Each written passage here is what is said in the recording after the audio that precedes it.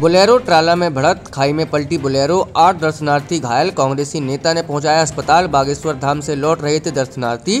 National highway उनतालीस Panna Satna road में छापर मोड़ के पास 23 मार्च दो को शाम लगभग चार बजे ट्रोला बोलेरो की आमने सामने भिड़त हो गई, जिसमें आठ दर्शनार्थी घायल हो गए।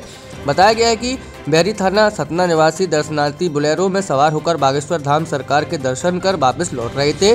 तभी नेशनल हाईवे उनतालीस पन्ना सतना रोड में छापर मोड़ के पास एक बेलगाम ट्राला से बढ़त हो गई, जिससे बुलेरो पलट गई, खाई में गिर गई। लोगों के द्वारा 108 एंबुलेंस और डायल हंड्रेड को फ़ोन किया गया। एंबुलेंस पहुँचने में देरी होने से रास्ते से गुजर रहे कांग्रेसी नेता भरत मोहन पांडे ने गंभीर घायलों को अपनी निजी कार से जिला अस्पताल पन्ना पहुँचाया। इसके बाद पहुँची 108 एंबुलेंस एवं डायल हंड्रेड के द्वारा अन्य घायलों को अस्पताल पहुँचाया गया। थाना प्रभारी कोतवाली निरीक्षक रोहित मिश्रा भी अस्पताल पहुँच गए और घायलों के परिजनों को फ़ोन कर सूचना दी। उससे पूछने के बाद पता चला है बताया है लोगों ने कि बागे धाम से लौट करके ए, अपने पर ही कटनी जा रहे थे।